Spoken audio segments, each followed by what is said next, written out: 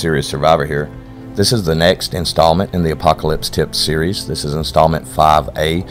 This video series will focus on the skills, the gear, and the tools that will aid in a wilderness survival situation. We're focusing on having to bug out from your current location and having to make do with just a few simple tools. Wilderness survival can be accomplished if you have the skill set that is necessary Remember, skills can never be replaced, but gear can increase your chances of survival tremendously. Knowledge is the key. The more you know, the further you go. These items are easily attainable and very affordable. So we're going to look at building a bug out kit for the wilderness survival here. We're going to focus on the most important items that you can put in your bug out bag or bug out kit. When putting together a kit or a bag, take into consideration certain factors. First, your own strength and endurance. This will be different for everyone. Also, different areas of the world will need different types of supplies. The series number 5 of the Apocalypse Tips will focus on the supplies and skills needed to survive mountainous, forest, and wilderness environments. Be familiar with your particular region and the regions you may be traveling through. So let's get started. 10. Books and Manuals Survival is a difficult task when one is not properly prepared or trained in the hustle and bustle of our modern, fast paced, technology dependent lives, having the time to dedicate to training may be a commodity some folks don't have the luxury to afford. Books or manuals are an excellent source of knowledge and techniques, and these are usually fairly small in size and fit easily into your bag or pack. These manuals can be a wealth of information and literally a lifesaver in desperate times. There are many different types of survival manuals commonly available and affordably priced. I would recommend at least three types. A book on plant life and vegetation, one that distinguishes and differentiates between the types of edible plants you may find in your area and the poisonous or toxic vegetation that may be difficult to determine without the proper training, experience, or resources. These types of botanical books usually have medicinal purposes and applications for these types of plants and vegetation also. A second type of book will be a military field guide. These manuals offer detailed information on everything from map reading and land navigation to ambush tactics to building shelter and finding concealment. Some manuals also have good information on trapping and hunting wild game. A third type of manual will be worth its weight in gold. This will be a detailed first aid manual. For obvious reasons, the third would definitely increase your chances for long-term survival. Fire. Making fire is one of the most essential survival skills of all time that one can possess. The concept of fire making is simple, yet without practice can be extremely difficult, especially in harsh conditions, such as extreme cold or wet and rainy environments. A minimum of three ways to make fire is recommended, and since you're preparing your bug out bag in advance, you can include a few of the easy, convenient options, such as lighters and waterproof matches. Also, be sure to include devices such as a fire steel or magnesium block, which will generate sparks of hot metal even in the harshest of weather conditions. Besides these items, you will need to pack some tinder and kindling, which will also be necessary for fueling the initial flame. You can buy tinder from any outdoor store, but cotton balls soaked in petroleum jelly work extremely well. Also keep in mind that pine tree sap is also a convenient accelerant that can be found easily in the wilderness. For long-term survival, these items will eventually be exhausted. The primitive means or skills of making fire are an absolute necessity. Without fire making capabilities, boiling water and cooking food would not be possible, thus increasing the difficulty of long-term survival. Fire also provides benefits such as keeping away certain insect types, providing light and warmth for your shelter by heating rocks on the fire and placing them in your shelter. 8. First aid. Cuts occur and scratches happen, and we know that when they do, serious infections can often occur, which can result in fever, sickness, and even death. First aid supplies and skills may very well determine just how long you will survive. Without these, life can and usually will be much shorter. Whether you build your own kit from scratch or buy a pre-made store-bought kit, make sure it includes the most commonly used items such as adhesive bandages, knuckle bandages, butterfly closures, gauze dressing, and antibiotic ointment, burn cream, aspirin, ibuprofen. Now this is something to be tailored to your specific needs. You know yourself better than anyone else. Make sure to include items that will also help in caring for any family or friends that you may be tasked with providing for. Most items in your bug out kit can be obtained fairly inexpensively. This is one that I personally don't mind spending just a little bit extra on. But for a simple first aid kit with basic supplies, this is actually a relatively cheaper part of your overall supplies. I'll leave links to several good sites below in the description that have excellent kits at good prices. Check them out.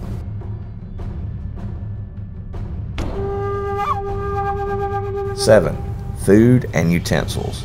Carrying a long-term food supply with you when you bug out probably won't be an option simply due to the weight and volume of space that food will take up in your bag. But having a short-term supply of food would definitely make the first few days a little more bearable while we adjust to the new lifestyle that has been thrust upon us. Keep in mind that in an emergency situation or bug out situation, especially if you are on foot, a person's body will burn more calories than they may be accustomed to doing. When determining an adequate food supply to take, make sure to choose items that have the necessary amount of calories and nutrition, energy bars, sugar filled snacks, snacks with carbs. Foods such as that and filling high calorie foods are always a good choice.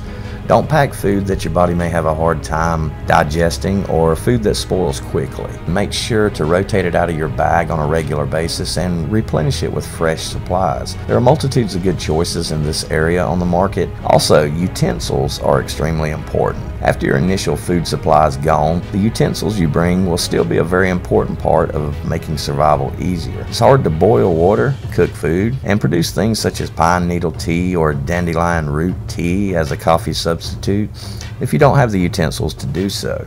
There are many good kits on the market in this area, and most are very reasonably priced.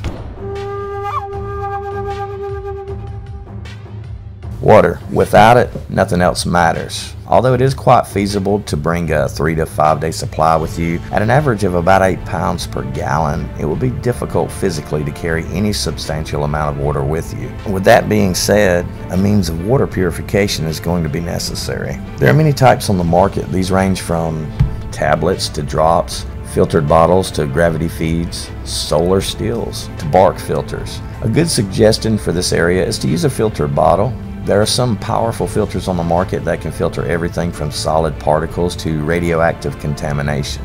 Bring the bottle, but use your other skills, such as building fire, to provide a means of purification without cutting into the lifespan of your water filter. Use your bottle or filter only when necessary. Always use the primitive method of filtering through cloth and boiling whenever possible. We can always build a fire, but once that water filter has passed its life expectancy, it's useless. 5.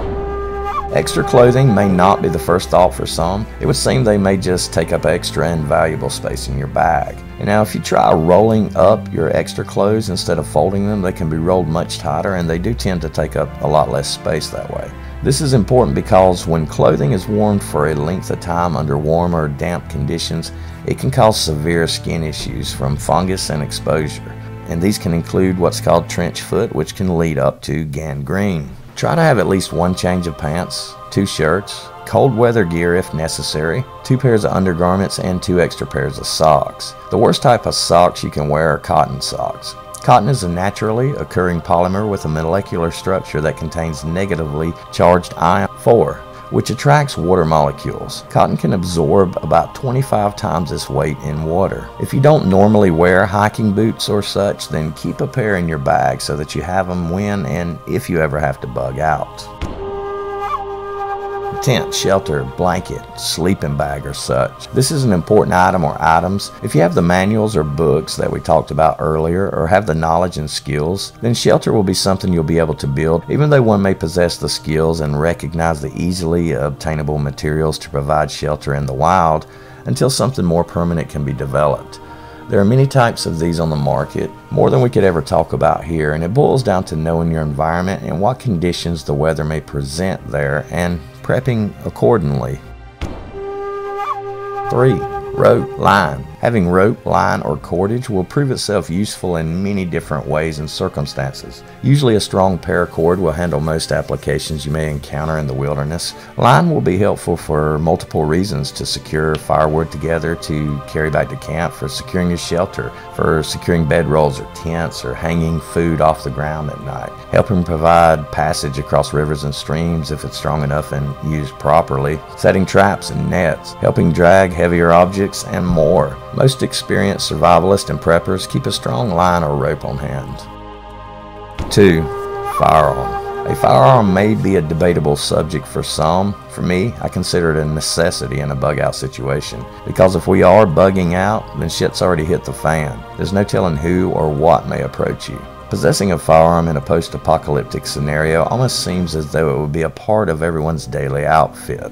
In an environment where civility and civilization have all but disappeared and the vast confusion of a desperate new reality that has taken hold of the world and changed it, along with us, forever, the simplest of needs becomes the most difficult of tasks. A firearm will offer the ability to hunt and sustain your hunger. Besides the hunting benefits, the aspect of self-defense and self-preservation is a right, and in a time of chaos may only be enforceable and maintained with the presence and possible use of a firearm or firearms. There is also the factor of wild animals in a wilderness environment. If people are bugging out to the more desolate wilderness regions or forest regions, then the wildlife there will be impacted and food chains will be disrupted. As the hunger in humans increase, so will the hunger in predators. A firearm is a valid part of any bug out gear, kit, EDC, or others. If you cannot own one or do not have the means to own one, then at least arm yourself with a bow, crossbow, or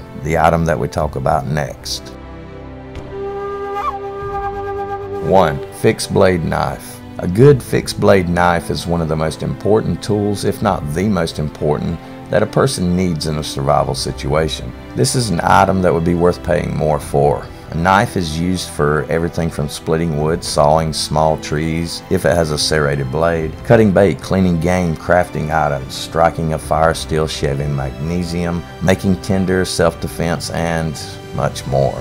There are thousands of different knives on the market. A knife is a personal item or weapon. Everyone will have a different taste and feel for their knife. This is an item that I shop around for. I personally have more knives than I can say, but when it comes to a survival knife, I like the fixed blade Ka-Bar with a partially serrated blade.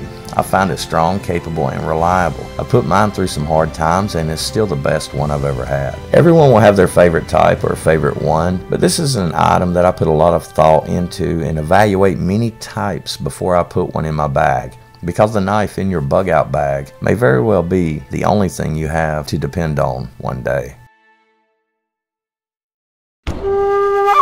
Well, that's it for now. Thanks a lot for watching. Check out the Serious Survivor channel. We're going to have many more installments on this episode, and we're going to try and really build towards different situations. The five series of the Apocalypse Tips is going to be geared towards wilderness survival. The six series will be geared towards urban survival. We're going to look at different items that we'll need for different situations and different environments, and we're going to try and cover a lot of ground here. So I hope you enjoyed the video, and for now, Serious Survivor, out.